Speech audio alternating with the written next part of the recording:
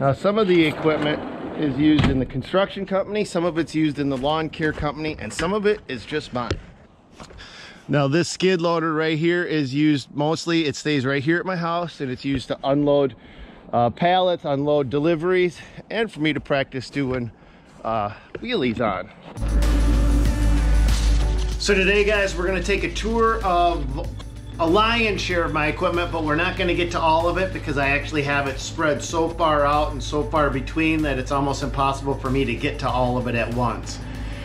But this Bobcat 185 happens to be one of my favorite pieces of equipment that I own, that I still personally own. There you guys. Never tried this before. It's winter time and part of wheeling skid loader means you got enough traction to stop and control what you're doing.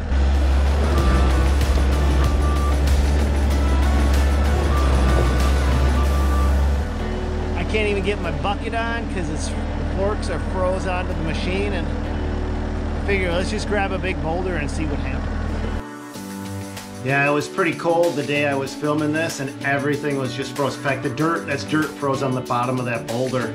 I was surprised I was able to get that boulder out of the ground, actually because I couldn't get my forks off. I mean, they literally were froze to the machine.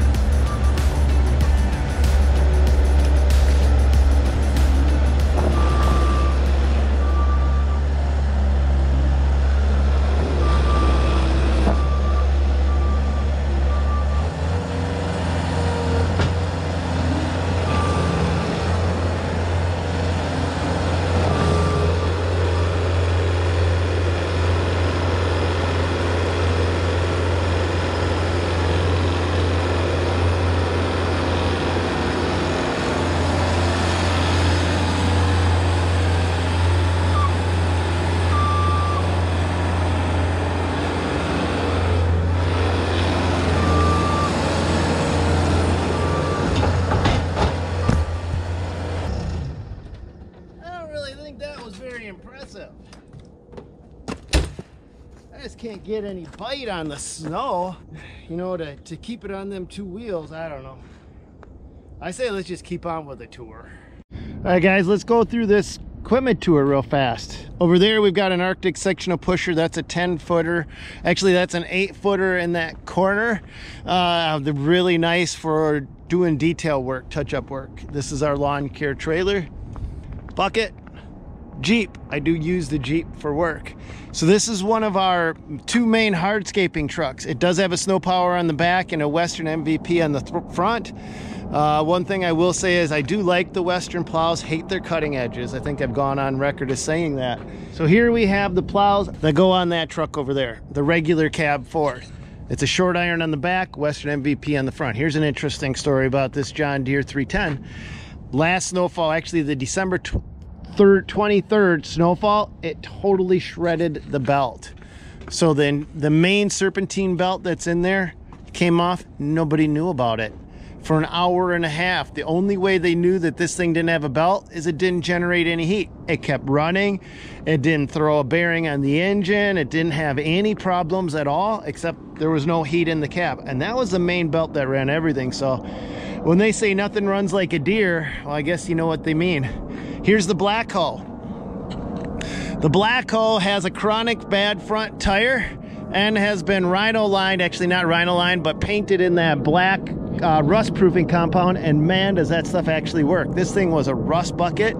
Still not very pretty, but the black hole is the black hole. It's uh, we use it as backup whenever we need a machine. We throw some air in that tire and we're good to go. Here's the new ASV RT75. A lot of people have asked me about these my you know what do you do how do you get so many different asvs well i do lease them and so then i have as part of my lease agreement the ability to change one or two machines per year and try something else out this has got that max series cab two things with this cab is phenomenal The second thing is the machine does require some warm up time. Unlike the other ASVs, I don't know if it's this particular model. I haven't talked to Buck at ASV, but this one, you got to let her warm up for 10, 15 minutes before she'll start operating at full speed. That's only when it's super cold out. The kitty cat got the new, uh, well not new, but got my snow tracks on it. It came with dirt tracks. Came from Mississippi, sight unseen. Wouldn't even start. It was DOA when I got it. We got her running and this kitty cat it purrs beautifully. One of my favorite things is on the front of the kitty cat and that's Booger. Lucas and I from Arctic Sectional found this old pusher buried in the weeds and we completely rebuilt it using stock material. Nothing out of the ordinary was done. New pucks were put on it, new bolts were put in it, that's it. It's got everything else is original. So that means that pusher's somewhere in the in the age of 20 to 30 plus years old.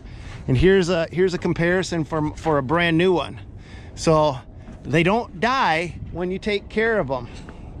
Here's our Rhino Line skid loader. We Rhino Line this thing three, four, five years ago, something maybe you guys would know more. Um, other than knocking the Rhino lining off from the bottom, the rhino lining has been working phenomenal. You can see where we scraped it up, but the oil and grease doesn't hurt it, doesn't cake onto it, doesn't destroy anything. Here we got, this is an Arctic pusher. This is a black one. So this is really like all the other pushers that you can find out there. Nothing special about it. The Arctics tend to scrape a lot better than anything else. Time out. That is not a sectional pusher. That pusher is like all of the other non-sectional pushers out there. Back to the program. The sectional ones, the yeller ones. Um, here's a ProTech Fusion Edge pusher, another good pusher. It's just the guys prefer the Arctic because of the sight lines. Same plows, but take a look at the sight line difference. You see how much lower the Arctic is? It gives you that much better visibility. This Fusion Edge pusher has sectional moldboards in it. Gotta stop the video here because it doesn't have sectional moldboards. It has a sectional edge. So the moldboard stays stationary and just this little flippity floppity edge is what moves back and forth. On the Arctics, the entire moldboard goes up and down. One, two, three, four, five, six. One, two, three, four. Five sectional moldboards but they go back and forth like this. This one has one, two, three, four sectional moldboards, but they raise and lower. And what this does gives you a better scrape. It just gives you the ability to contour even more to the ground. This one's been actually a game changer. The sledge has been one of those tools. We got it equipped with what a 15 or 17 foot pusher. I kind of forget what's on it. It's a 74 horsepower machine, $64,000 brand new in the box. You can't pay, you can't buy a skid loader for that much money brand new in the box.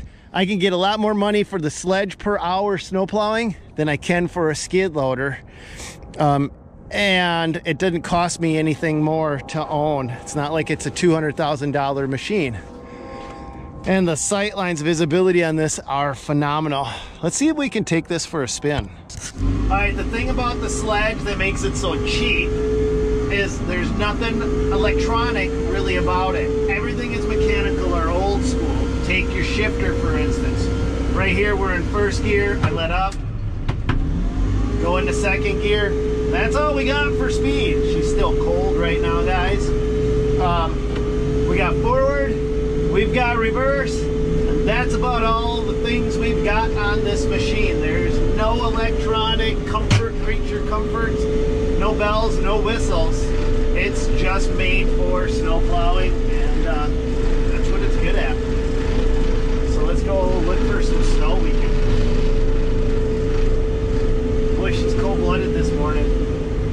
The thing I like about these Arctic sectionals you can hit just about anything you want at any speed. And the moldboard, if you look down there, you'll see the moldboard will flip up.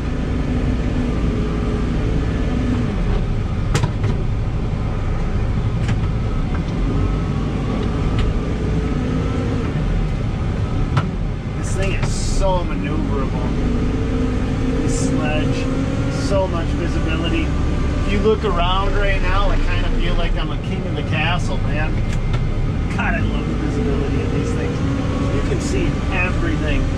You can look down in people's cars and see what they're doing when they're sitting there. Not saying that's what I do. Yes, I do. I get bored.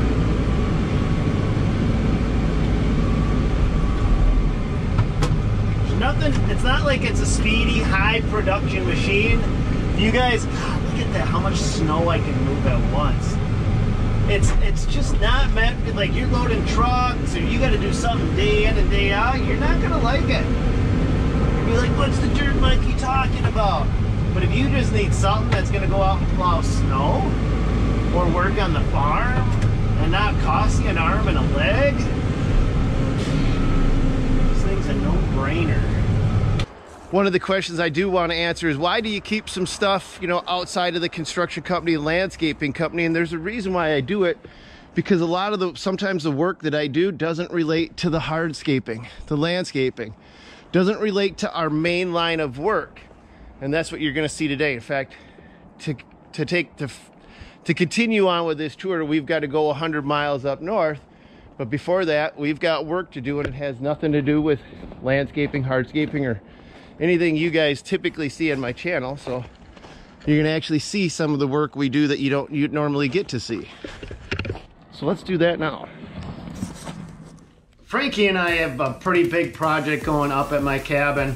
The if this this is the front of my cabin, it used to have a roof that was just this long sloping roof and the snow would just sit on top of it and it was just gonna destroy the cabin. If we had a really snowy winter, Frankie and I were up there shoveling it off.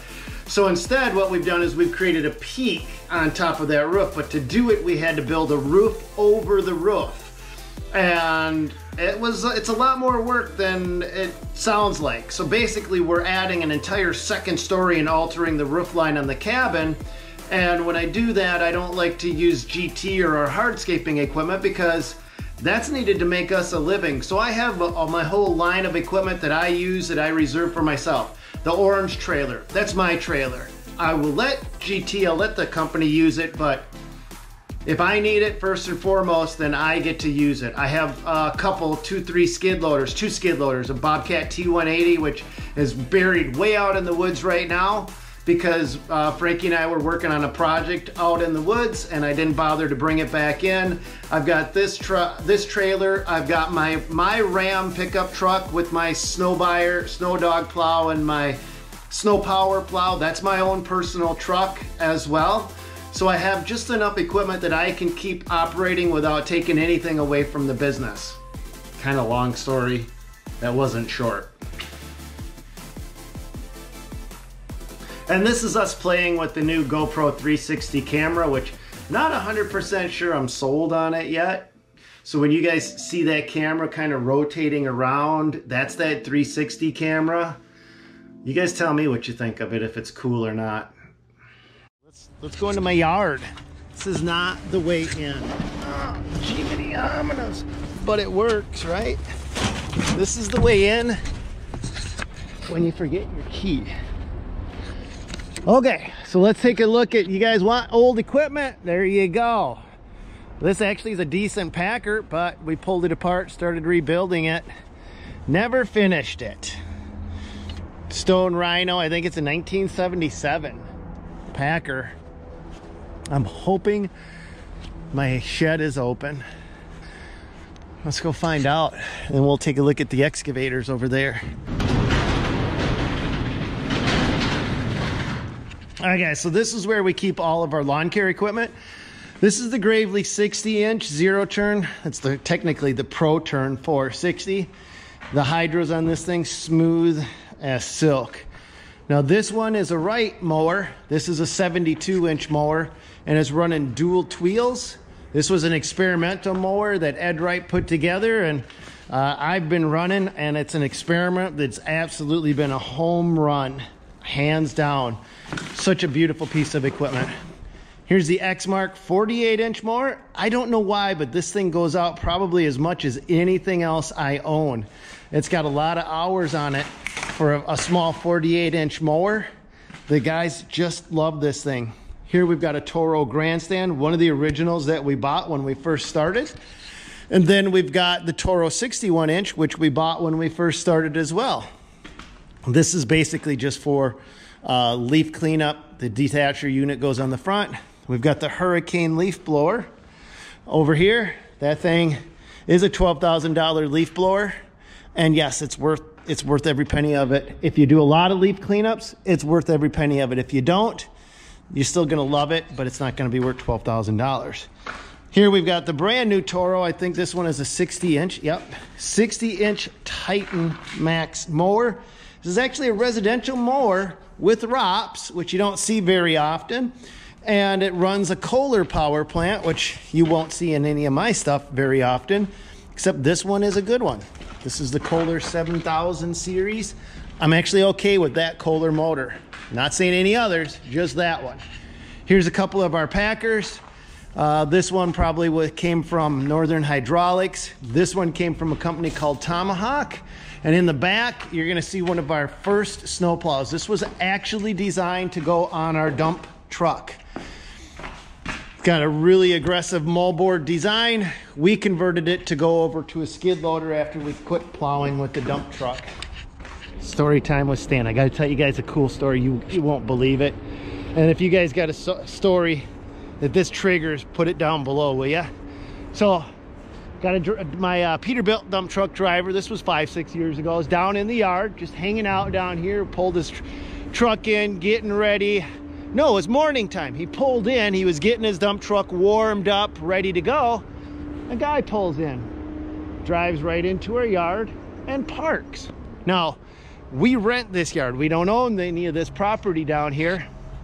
We rent it from a company over there and they had an old bulldozer sitting down right down about where the Bobcat is right now, right? And the guy pulls up, pulls next to it, my guys in the Peterbilt and they start talking and they're just chit chatting. My guy hops in the Peterbilt, comes out to work during the day, comes back that evening, parks the truck, and I get a phone call from the people I rent from. Hey, what happened to our bulldozer? And I'm like, what are you, what are you talking about? Like, you know, that old bulldozer that's sitting down in the corner, what happened to it? And so I asked my truck driver and he's like, well, you know what? The weirdest thing is there was a guy came down there and, and I thought he worked for the, the people we rent from. He was just sitting there talking to me for the longest time. He had a truck, he had a trailer. He must have loaded that thing up after I left and stole it. And that's what he did. He literally came in, talked to us, sat there, waited for my driver to leave, and then stole the bulldozer. Not, I can't make stories like that up. God, that is just wow. That's wow. Story time with Stan, right? Let's keep on going with the tour. All right, so let's go take a look at some of the excavators now. And some of our, I call this the junkyard, the scrapyard, right? All of it costs money at some point. That's the problem. This hammer, that cost me seven grand. Does it look like it's $7,000 sitting there? Nope. Here's a totem grapple. That was on, that one was, I don't even want to tell you how much it was. It came on that machine. So this is the grapple that was came that was on that one and it worked just cruddy. I mean, it was just terrible. I bought the machine for the grapple and it was horrible experience. So then we switched over to a CMP. I never looked back. Still don't like the machine. This is our Daewoo. The reason I don't like the machine is I don't feel that it delivers enough power to the tracks. What is this, a Solar 75? I don't think they make this thing anymore. That's all right, because I wouldn't buy it again if they did make it. So uh, it's just an average piece of equipment. Nothing good, nothing bad. It's not bad, it's just average. These I like. The Kobelco 160 series. This weight category, beautiful ba balance of power to the hydraulics, power to the tracks, weight of the machine. We used to have five of these. Now we're down to one and we still don't use it. We had five when we were doing commercial, all commercial work. Now we don't do any commercial work and it's just a little bit too big to squeeze into a residential site. So it sits there getting making mouse nests in it. You guys remember my Bobcat, right? And here we've got a whacker and another whacker. Here's the Wacker Packer series. Uh, that one was 20 grand. Does that look like it's worth 20,000 bucks? No, that's what they cost. I can't believe the price of equipment. I think this one was 10 grand. oh, how do you make a living in construction when everything costs so much? Here's a brand new power rake. I'm gonna be putting that one to the test. This, we've got a rock bucket. I'll probably be in here uh, sometime soon grabbing that.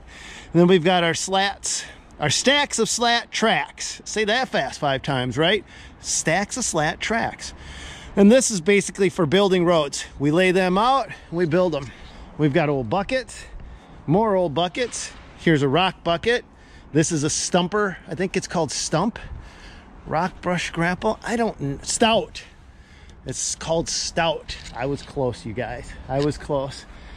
Hydra Bucket by CMP. Same people that make my grapple make this. This is beautiful. Absolutely beautiful. Here's some over-the-tire tracks. Not good. I mean, they're just in general, over-the-tire tracks like that, those steel tracks right there, they're just not good unless you got a machine that you don't care about. I got to pause it there. Let me just define exactly what I mean as those tracks go over your tires and you're turning and you're getting into mud, if you don't keep those tracks absolutely to the right tension, which it's easy to allow them to kind of get out of tension, those tracks will move on your machine and they'll catch on the frame of your machine. They'll catch on a bucket.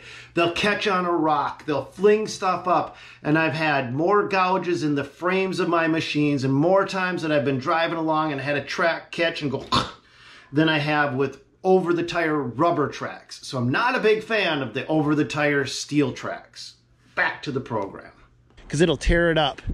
The beak, this one was a big surprise. Thought that was going to be a joke. That thing is amazing. Absolutely amazing.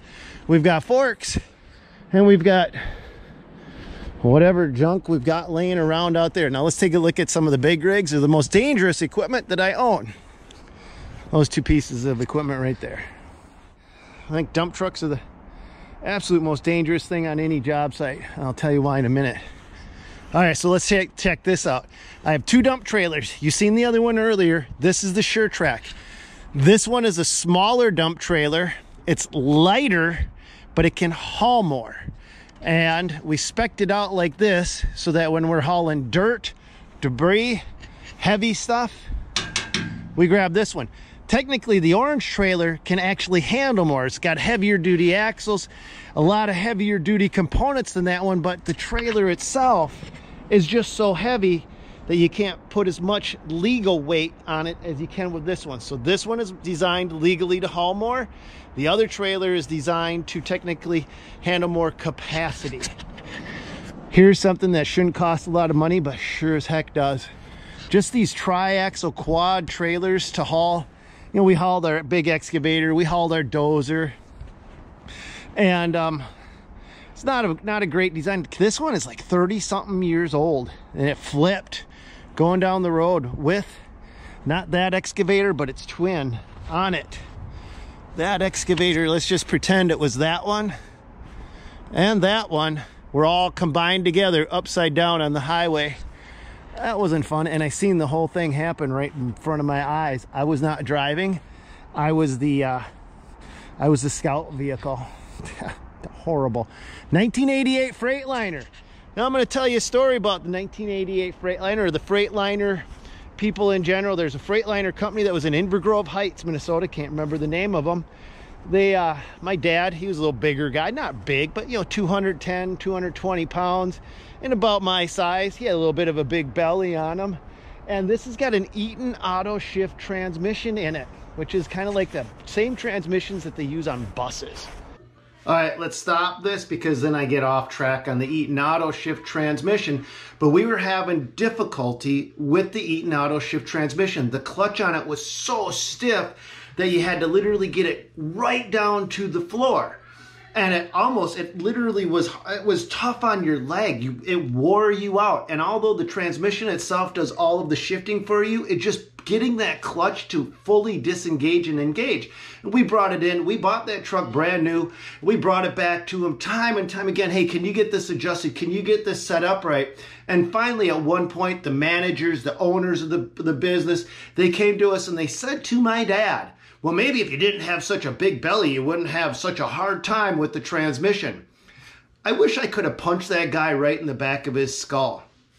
And it was Freightliner and Inver Grove Heights. That's a company that I'm not gonna.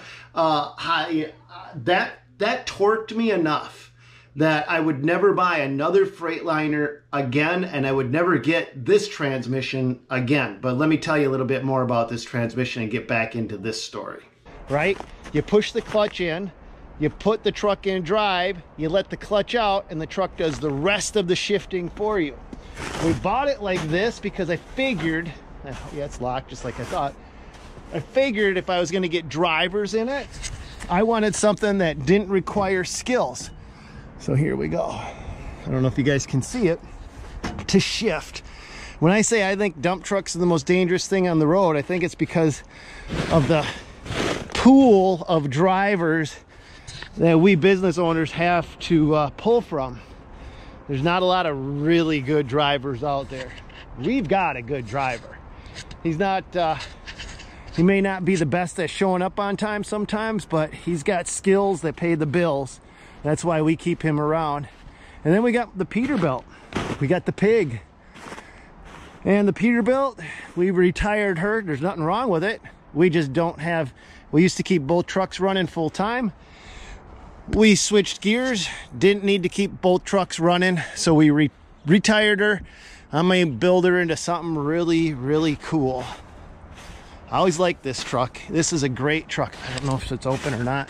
Do you guys see the name on this the sign on the side of the truck? That's the fish or the the the, the Christian fish symbol. And that's the American flag inside of it. And so to me, that, that sign represents everything that I believe in. God first, country second, and then I use my family name, Genadek, third. So I put them in that order. And the cool little cool side story about the Christian fish symbol is way back in the day when Christians were being persecuted, they two Christians would stand in front of each other, and as they were talking, one of them would draw just make an arc in the sand with his foot. He wouldn't make the fish, and the other Christian, if they if he was a Christian on the other side of it, would put his foot and finish the arc. And that was the secret sign that they were Christians. I just thought that was so cool. All right, let's keep looking at equipment. Nothing wrong with it. It's got a 13 speed transmission. Yep. Lights still come on. If I had key, smells like mice. Smells like a dead mouse in here. Love this 13 speed transmission. This is the kind of transmission I'm used to driving. Uh, I love this. I've had what five or six different dump trucks and the 13 speed Eaton auto fuller transmission's always been my favorite these long nose trucks are my favorite too they may not be able to get around as easy as a short nose truck or a cab over or whatever but I, I, gotta pause it. I gotta tell you the story about the most miserable dump truck that I ever owned was a rebuilt 1968 Mack with, with a was a dual stick transmission. So instead of having one stick, you had two separate steer, uh, stick shifts that you had to handle. One stick shift had four gears, and the other stick shift had five gears. And you had a combined total of 20 gears in that truck. So you had to know exactly where, where each stick was. As you, I mean, you want to know how to, to drive a dump truck really fast if you could be proficient in that dump truck, you could drive anything. It was a miserable hog, and I called it the green machine, and I was so glad when that thing was finally gone. Now back to your regularly scheduled program. It just feels good to drive one. It's like you driving around going, look how cool I am, look how cool I am. And that's our video for today. Hope you guys had fun. You guys wanted an equipment tour? I gave you one. I hope it was slightly interesting. I didn't know how to do an equipment tour that was interesting. So did the best I could. This is the last equipment, first and last that I ever plan on doing. So that's all we got for you besides this leaving you with one of my nasty old trailers. I gave this one to Frankie. Nothing wrong with it. I just don't need it. I got plenty of them sitting around in the weeds. I got to close up and hit the road. That's what we got for you today. God bless. Go get them. See you on another one, you guys.